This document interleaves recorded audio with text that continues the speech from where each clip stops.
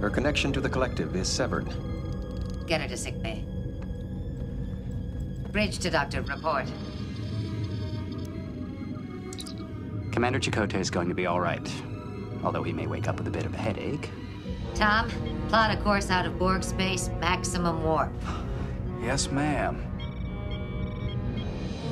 Captain's log, stardate 51003.7. Three days and no sign of Borg or bio ships.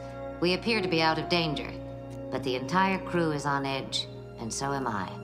Not even the calm of Master Da Vinci's workshop is enough to ease my mind.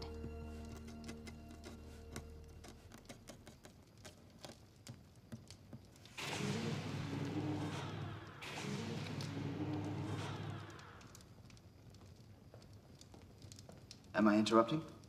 Not at all. Just finishing up my log.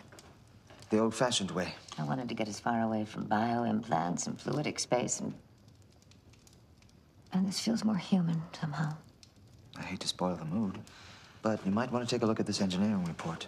It'll take at least two weeks to remove the Borg technology from our systems. B'Elanna did note that the power couplings on Deck 8 work better with the Borg improvements. Leave them. How is our passenger? The doctor says she's stabilizing. Her human cells are starting to regenerate. I wonder what's left under all that Borg technology. If she can ever become human again. You plan to keep her on board? We pulled the plug. We're responsible for what happens to her now. She was assimilated at a very young age. The collective's all she knows. She might not want to stay. I think she might.